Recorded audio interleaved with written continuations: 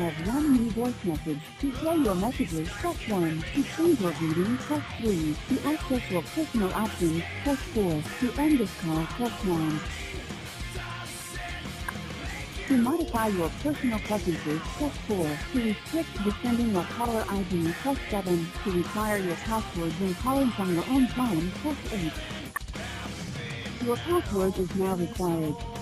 To modify your personal preferences, press 4. To restrict the sending to modify your password, press 1. To change playback preference, please enter your new 4 to 7 digit password.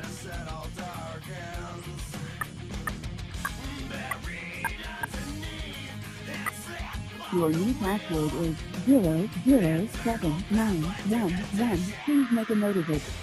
To modify your password, press 1. To change playback preferences, press 2. To access your recorded name, press 3. To change your language or to record your name, press 3.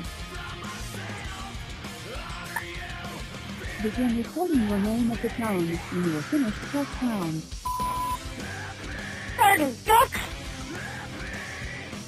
36!